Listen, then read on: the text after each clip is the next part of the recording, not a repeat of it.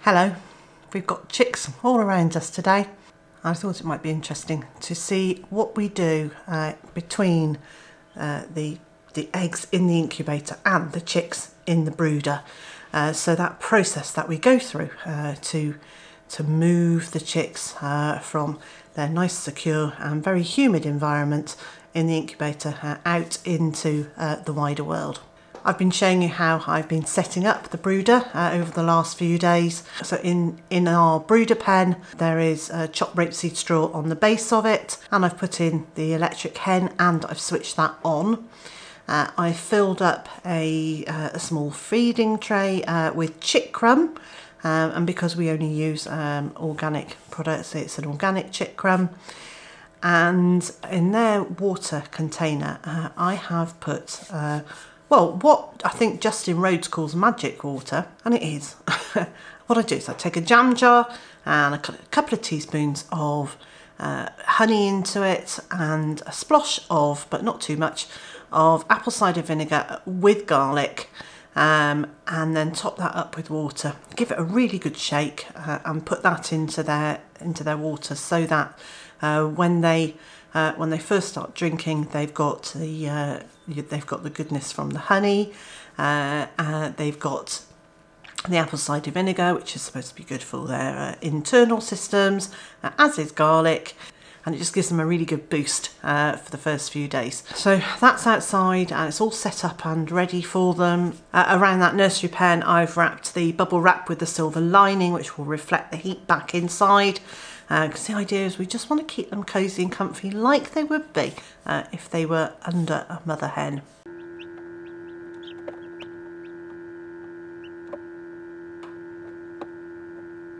Now, I've said it before and I'll say it again. It is really important that you do not keep opening uh, your incubator lid um, or, or the door of it uh, to see what is going on. Once those eggs have gone into the lockdown phase where uh, they're no longer being turned uh, and they're just lying still, uh, it's really important not to uh, reduce the amount of humidity because I think it's probably the easiest way to explain is this is your eggshell.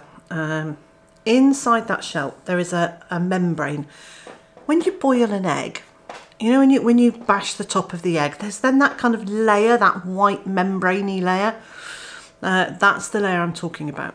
If the humidity gets too low in that incubator what happens is is that that membrane layer shrinks and it will shrink wrap the chick and you've just it's awful. It, I'm smiling about it uh, because it's just that you know it was a hard lesson learned but it will shrink wrap those babies uh, in their eggs and they're just never going to be able to hatch um, because once once that membrane gets dry it's almost leathery it becomes really tough and uh, and it's a difficult process for them to, to get out of an egg as it is. If you then give them a, a thick leather layer it's just not going to happen. That's the reason uh, that it's so important not to reduce the humidity and the thing that reduces the humidity is just having a look and having a look and popping your hand in and First few hatches I did, I had been told this, um, but I hadn't properly taken it on board and I shrink wrapped quite a lot of chickens. So I have learnt the lesson and that's why uh, I'm sharing it quite so forcefully. Um, it is really important. So having said that, when the incubator gets quite full, yes, I take some, I lift the lid and I take some out, but uh, I do check. In fact, I've talked about this as I'm doing it, so uh, I'll talk about that a little bit more uh, further into this video.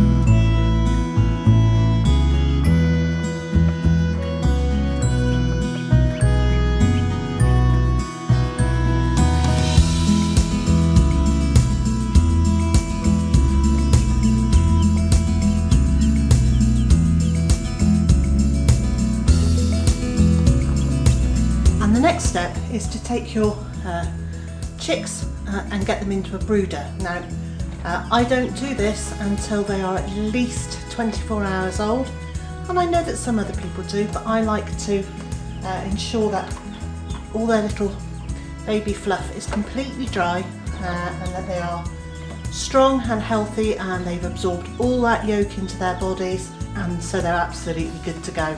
Chicks are okay in the incubator uh, for up to three days after hatching. In an incubator this size, three days is plenty of time for all your eggs to hatch or thereabouts. What I usually do uh, is that after the first 24 hours or so, uh, I have a look and see how many eggs have already pipped and are there eggs that are uh, mostly hatched. Uh, and if there are, I wait.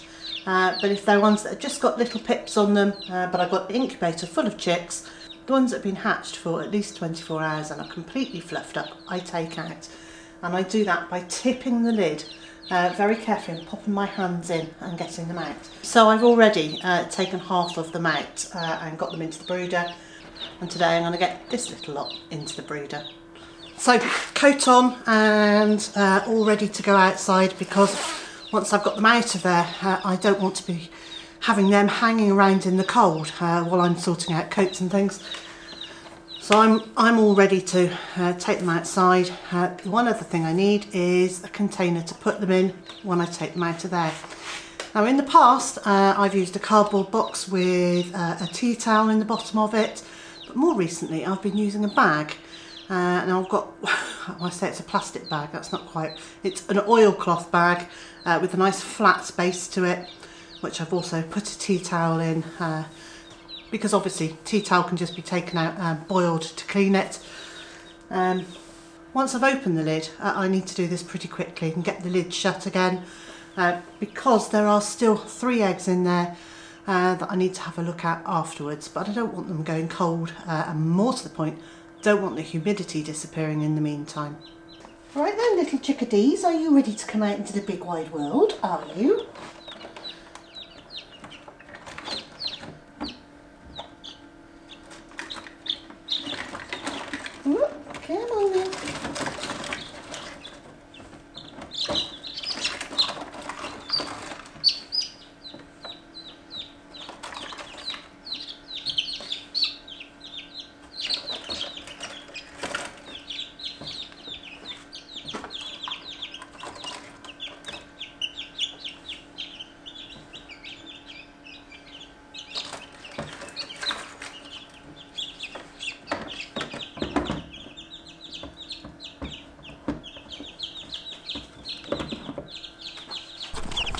So I don't really want to today, I'm just going to take them straight across to the brooder.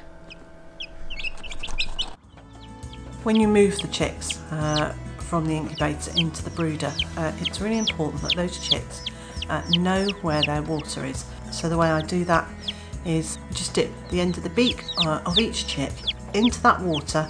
Uh, don't put it in too far because there's a risk of drowning it. So just uh, beak in and then I just check to make sure it's going to, um, to taste the water and then it should uh, carry on finding the water without any problem after that.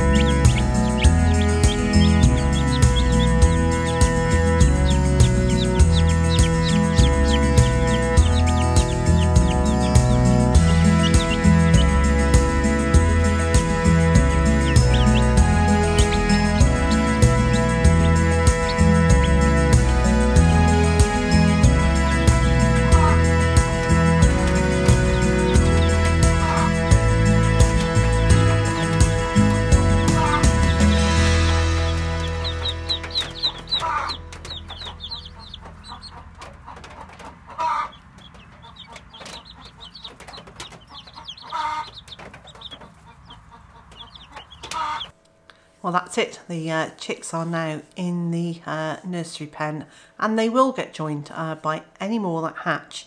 We've got the second incubator that is due to uh, due to hatch tomorrow and the eggs have started pipping.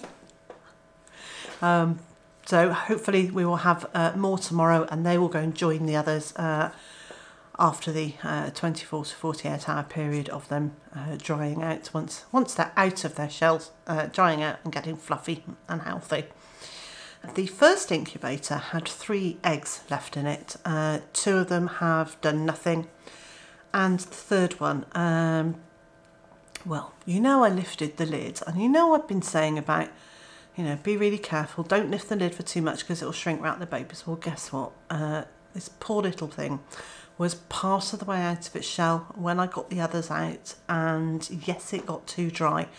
Now, it has managed to just about uh, claw its way out, but uh, it's not, I keep looking over at it, it's not doing very well. Uh, and my gut feeling is is that it won't survive and and it is it was a gamble because when I lifted the lid to take those others out um, I knew there was one that was partly pipped uh, it had a it had a about a penny size uh, hole in it However, uh, it hadn't moved, um, well, I hadn't seen it move all day, uh, and it had pipped that hole uh, and it made that hole yesterday, so it had gone all the way through the night and uh, for most of the day today. So I thought it was dead. Uh, I thought it had just died in its shell. Anyway, when I came back in from taking the others out to the nursery pen, it was cheeping uh, very loudly. Uh, was obviously in some distress.